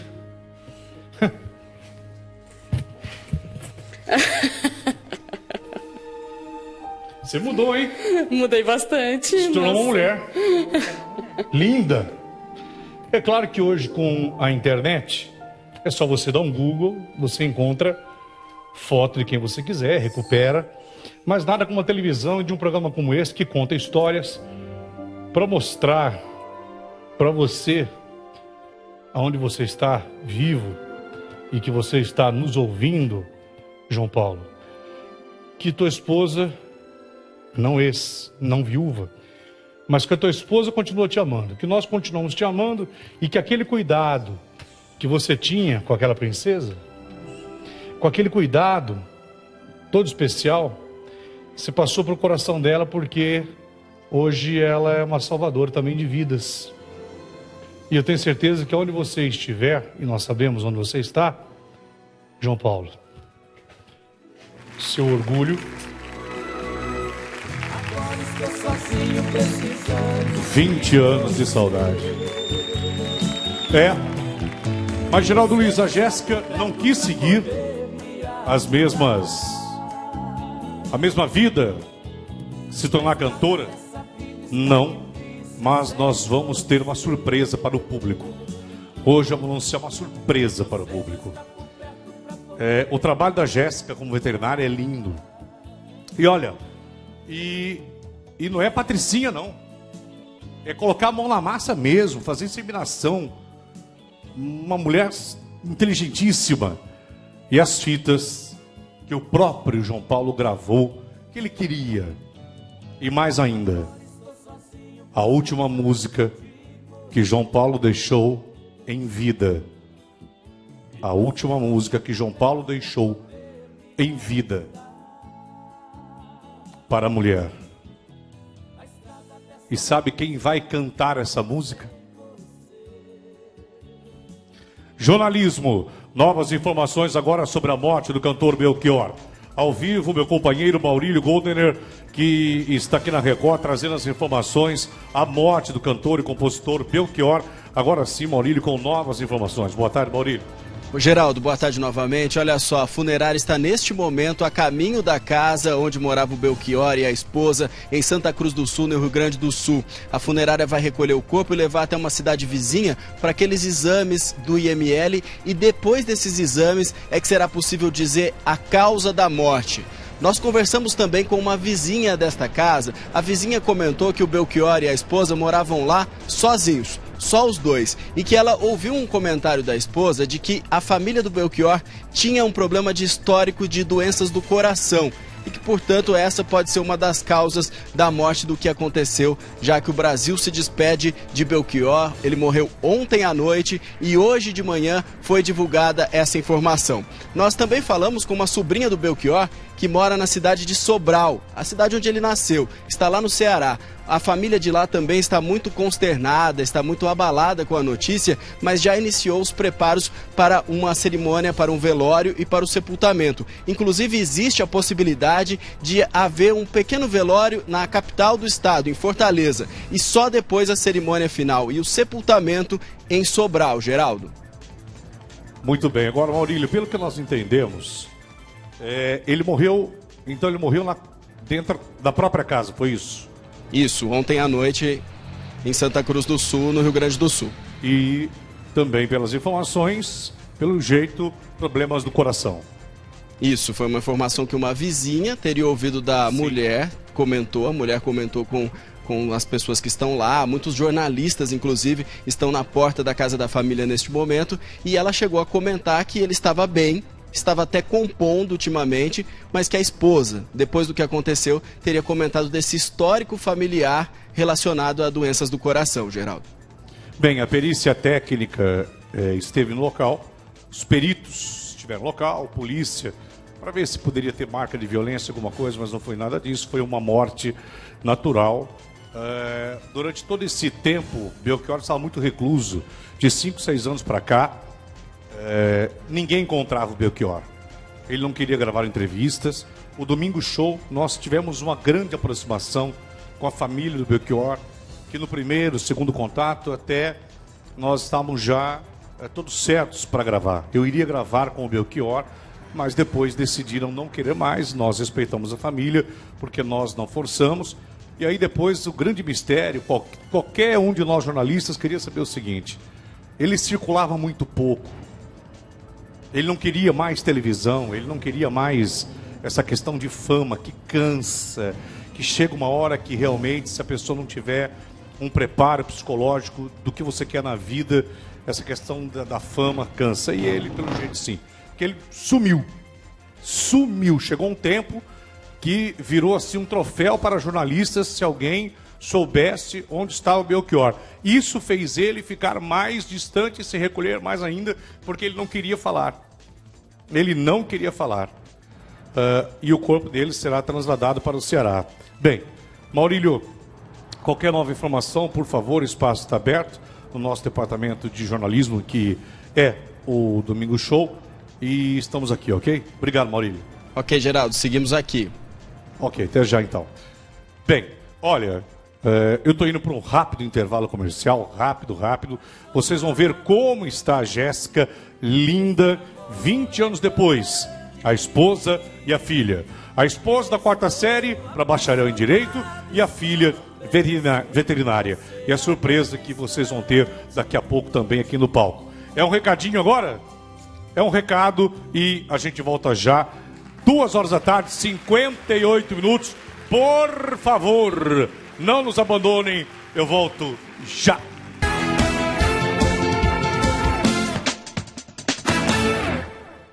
Estou apaixonado. Estamos de volta, três horas da tarde. Com esse auditório animado. E olha que eles comem só pãozinho com mortadela, hein? E um guaranazinho. Vocês querem mais pãozinho? Ah, dois?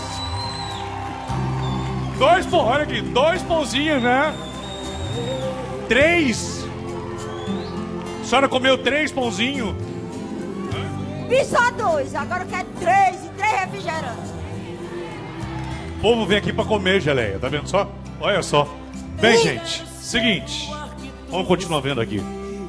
Agora vocês vão ficar mais emocionados ainda. Vocês vão conhecer o dia a dia da Jéssica, uma menina que poderia ter ficado apenas com a herança do pai e aquela coisa, sua filha eterna do João. Ok, mas ela foi buscar o que é dela. Isso que eu acho bonito, que muita gente só herda dinheiro em vida e depois da morte de alguém. Ela não. Ela não ficou sentada em cima do nome do pai. E foi fazer aquilo que ela mais gosta, de cuidar. Não ficou pensando na vida, lambendo feridas, não. Vou junto com a minha mãe, minha mãe estudando de um lado e eu vou de outro. Minha mãe, só quarta série, era uma queijeira. Trabalhava numa fábrica de queijo. Meu pai era um pedreiro, não sabia cantar, aprendeu a cantar, não tinha aula de violão, tocou violão e se tornou um grande cantor juntamente com o Daniel, a quem eu mando um beijo que está lá em Portugal. E ela se tornou uma veterinária. Gente, e que tremenda, e que tremenda profissional. Vocês vão ficar impressionados. Eu falei, deixa eu fazer um teste. Vocês sabem que eu sou também, eu sou meio que boiadeiro. Eu tenho umas fazendinhas, eu sei cuidar dos meus boizinhos. Eu sei cuidar dos meus boizinhos lá de Birá, minhas vaquinhas. É, tô fazendo lá meus propriedades. É, já tem umas 340 cabeças de boi. Aí, eu falei, deixa eu ver se a Jéssica sabe realmente colocar a mão na massa. E ela surpreendeu e vai surpreender mais. Veja. Vou perguntar uma coisa pra vocês. Pode... Você não vai gostar do que eu vou perguntar. Mas você sabe o que eu pergunto. Mulher bonita, independente, não conheceu um outro grande amor. Não se permitiu. Não. Por quê? Porque, Geraldo, antes, eh, antes de você falar assim, mulher bonita, independente, eu sou uma mãe. E minha filha sofreu muito. Eu precisava cuidar dela. Eu não tinha tempo para poder eh, me permitir viver alguma história de amor ou qualquer coisa nesse sentido. Eu tinha que cuidar da minha filha. E eu cuidei dela. Eu tinha, eu devia isso para o João Paulo. Ele sempre pediu para mim: cuida dela. E é o que eu mais fiz na minha vida. Foi cuidar da minha filha.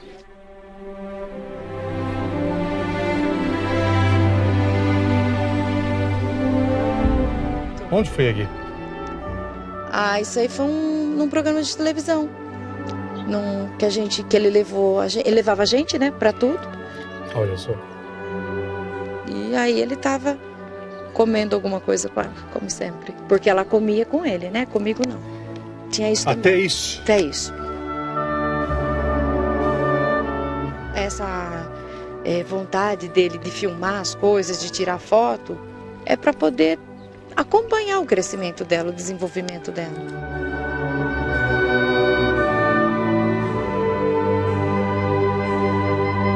E no dia que aconteceu o acidente dele, ele, a gente trocou o celular. Ele, ele saiu, levou o meu e eu fiquei com o dele. Ele ligou justo no horário que ele sabia que eu ia levar ela para a escola. E aí ele conversou com ela e eu escutava ela falando dentro do carro: João Paulo, eu te amo. Fica bem. Quando eu peguei o celular, ele estava chorando. Eu falei: alguma coisa que está acontecendo com o João Paulo, que o João Paulo não está bem. Vocês vão conhecer agora a Jéssica, a filha, e vocês vão ver que trabalho lindo que ela faz. Você me leva lá? Levo, vamos lá. Aguenta coração. Domingo show, seu contador de histórias. Voltando ao passado, que parece estar mais presente que nunca. E aquele novembro daquela quermesse continua exatamente aqui, principalmente no coração daquela mulher. Foi embora e agora voltou. Deus se ela abrir a porta, sei que não consigo, vou me entregar. E quando tocarei meu rosto outra vez, eu sei que vou me machucar. Deus, eu tenho tanto medo de sofrer de novo, me apaixonar. Ela tem o dom de me fazer chorar. Que lugar, hein? Esse lugar é lindo, né? Como eu te prometi, a Jéssica, ela trabalha aqui. Ela... Tem um Aras aqui. Aqui é um Aras. Aras do Dr. Paulo Auler. Doutor Paulo, parabéns pela propriedade. Que eu vou dizer uma coisa, doutor Paulo. O senhor não tem uma propriedade rural, não. O senhor tem um canto do paraíso.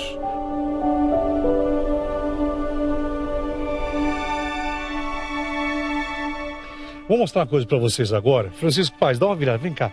Vem cá, Rosê, faz favor. Olha só. Gente, dá uma olhada. Devagar comigo, Francisco Paz, por favor. Quero que vocês olhem. Olha isso aqui. Que paraíso. Que coisa maravilhosa. É um sonho, né? É um sonho. E é nesse pedaço de sonho que a tua filha trabalha. Trabalha, realiza o sonho dela.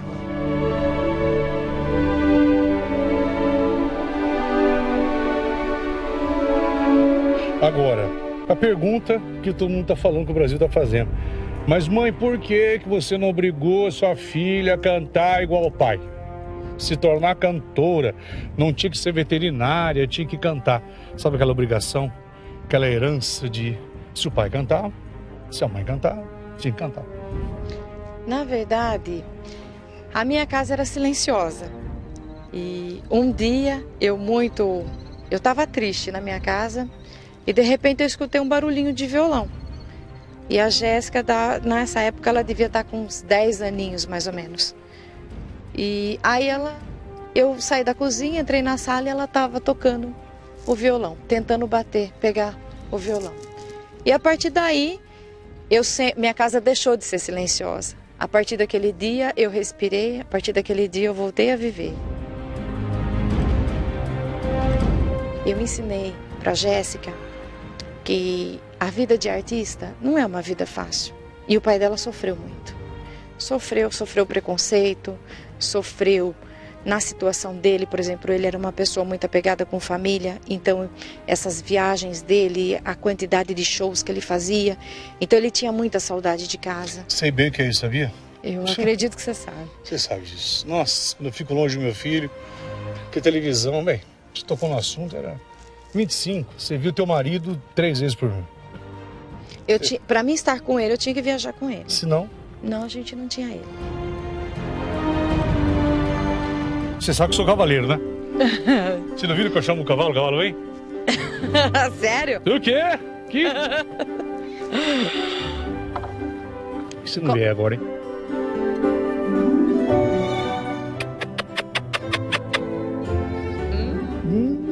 Falhou. Hum, é. Melhor continuar contando a história Vamos. na televisão. Aquilo é o Cristiano? É, ele vai te levar até onde a, te conduzir Ah. até onde a Jéssica está. E aí, Cristiano? O que você faz aqui? Eu trabalho com esse cavalo, E o cocheiro? cocheira. Ah, é? Então quer dizer que a Jéssica cuida bem dos animais aqui? Cuida dela que é a veterinária aqui. Olha isso, ó. Quantos bichos ela cuida aqui? Tem uns 46 cavalos aqui e 3 garanhão. Tá com 25 anos ela hoje, né? 25. Segura. Então quer dizer que a senhora é apaixonada por animais. Sim, bastante. Por que? Fica aí, por favor. Por que, que você não foi cuidar de cachorrinho? Na verdade, assim, sabe, eu sempre tive, desde criança, uma certa paixão por cavalos, né? E sempre gostei muito, assim, da parte de fazendas, essas coisas assim. Deixa eu ver se você cresceu mesmo. Deixa eu comparar aqui.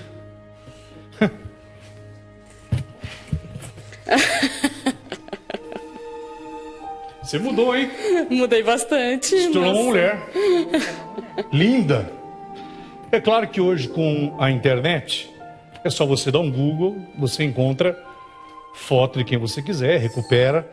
Mas nada como a televisão e de um programa como esse que conta histórias para mostrar para você aonde você está vivo e que você está nos ouvindo, João Paulo, que tua esposa não ex, não viúva, mas que a tua esposa continua te amando, que nós continuamos te amando e que aquele cuidado que você tinha com aquela princesa, com aquele cuidado todo especial, se passou para o coração dela porque hoje ela é uma salvadora também de vidas.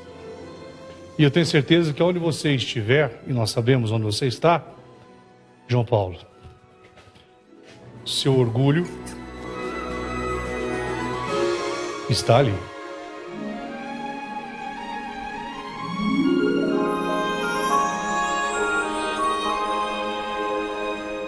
Como vai? Tudo Só não vou bem? chegar perto que eu tenho. Não é não é medo. É assim, eu já fui picado por cavalo, entendeu? Ah, tá, entendi. Como vai? Tudo bem? Tudo bem. Vamos dar um passeio por lá pra você mostrar os bebês pra mim, Zão? Pra mim? Você tá com 26, 25 anos. Tempo passou. Você casou? Não. Não, tô perguntando porque. Né? Não, não casei não. Tá namorando? Nem namorando. Hã? Não. Gente, e aí? Se parece muito com o pai, porque dizem que filha se parece tanto com o pai. Teu pai. Teu pai tinha um, uma adoração por você, né? Não, ele tinha. Você acorda que hora todo dia? Todo dia, na verdade, eu acordo 6 horas. Aí começo a vir aqui às 7 horas. O que, que você faz na fazenda, na fazenda de vocês? Na fazenda, geralmente a gente é, faça parte também de inseminação e reprodução, né? É, artificial, na parte de bovina. Aí também eu tenho meus animais pet também, meus cavalos também. Quem diria, não? Vamos lá fora conversar? Vamos. Vem comigo.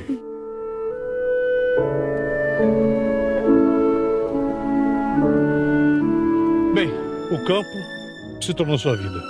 Sim. Daí é uma coisa que eu sempre sonhei, né? Cheiro de de vaca, Sim. de cavalo, xixi de animal. Você se acha parecido com teu pai? Bastante.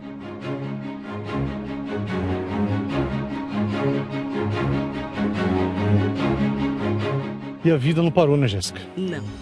A vida não parou, a vida continuou, graças a Deus, né?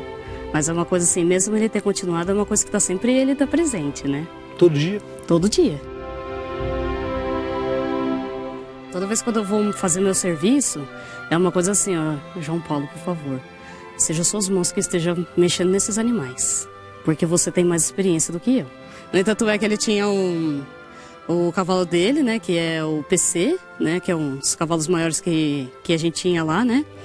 Aí ele montava nele direto, né? Então uma coisa assim, que é impressionante de ver. Ele te deu um cavalo quando você era pequena? Sim, ele deu na verdade uma, uma égua, né, pra mim. Aí eu, a gente deu o nome dela de Tweet.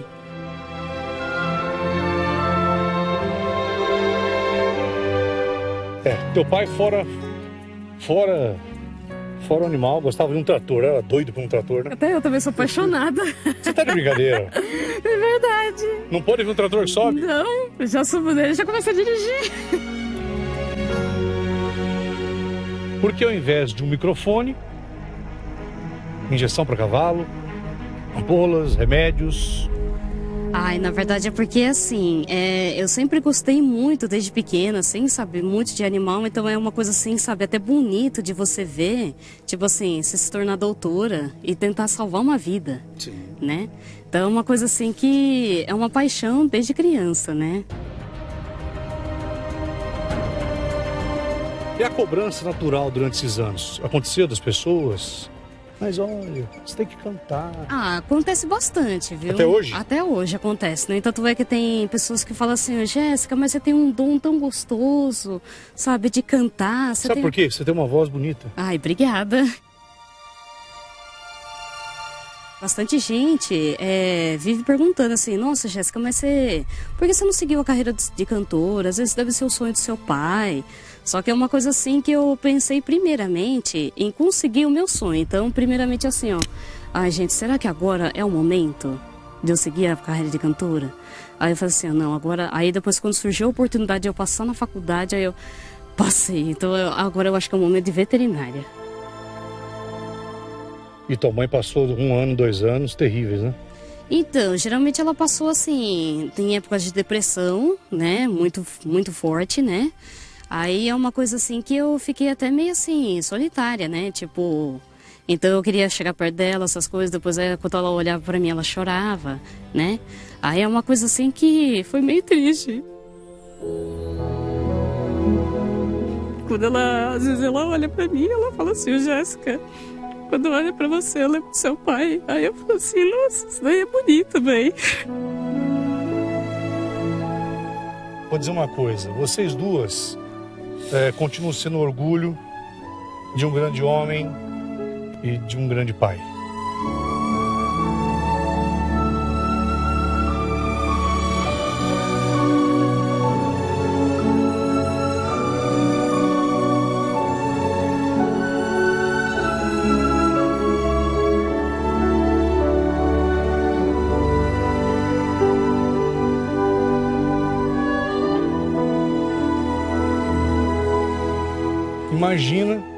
A felicidade hoje do teu pai em ver que a tua mãe continua lutando por ela, por você, que conseguiu viu a formação a formação da filha de uma mulher que poderia ter se perdido lá atrás pela tristeza, pelo luto.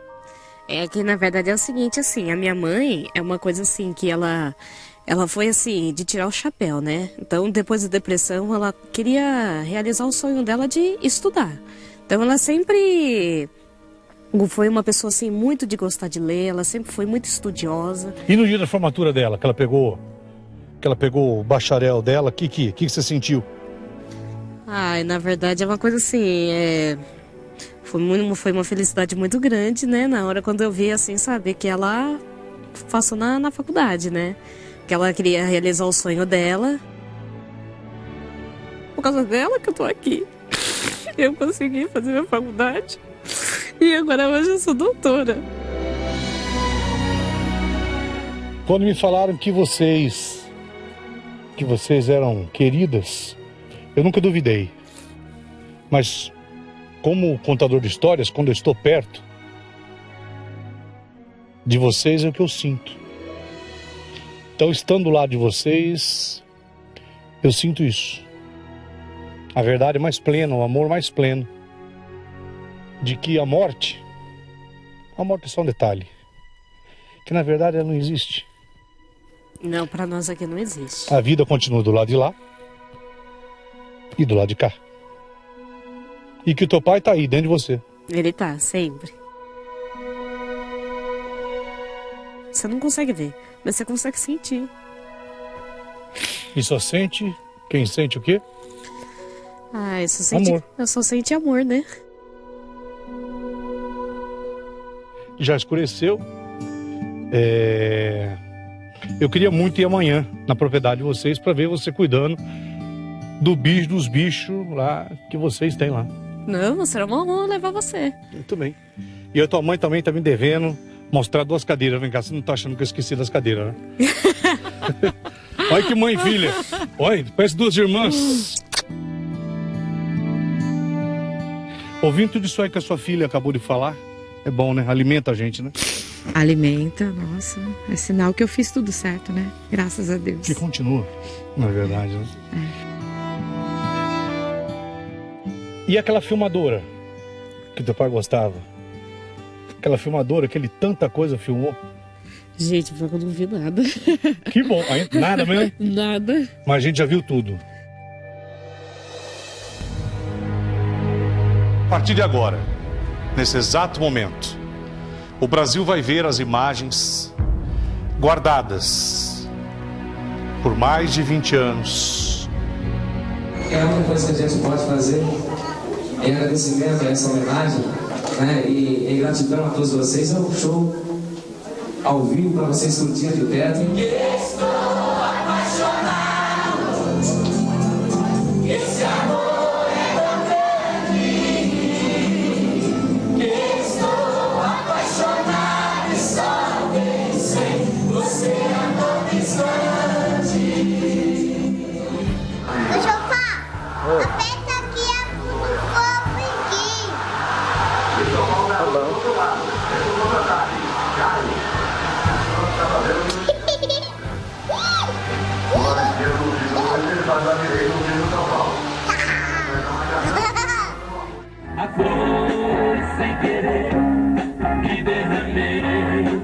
Toda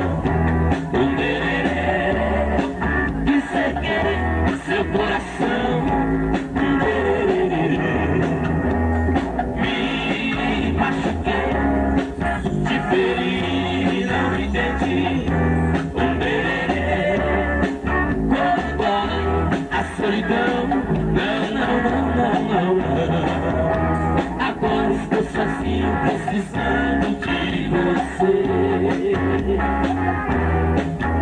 E você não está por perto pra poder me ajudar. O Brasil vai ver as imagens guardadas por mais de 20 anos que esta filmadora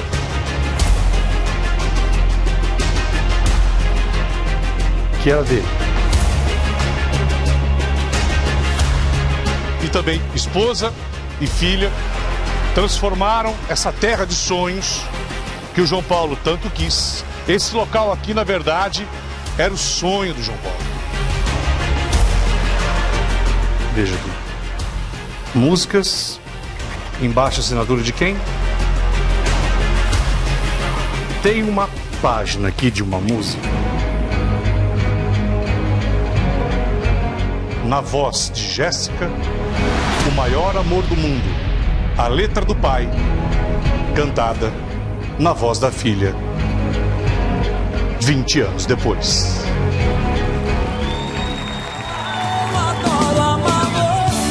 Atenção Brasil! Domingo que vem, neste palco, vai estar comigo aqui ao vivo a Rose e também a Jéssica. A filha está passando por um por um treinamento, porque domingo que vem ao vivo. Abre para mim o palco. Jéssica vai estar ao vivo cantando a música que em vida o João Paulo fez em homenagem ao amor da Rose. As duas vão estar comigo ao vivo. E mais, eu fui na fazenda que o João Paulo deixou, no sítio que o João, que o João Paulo deixou, e você vai ver as outras imagens exclusivas. 20 anos da filmadora que o próprio João Paulo tinha, caseira. Não era o cantor filmando, era o pai.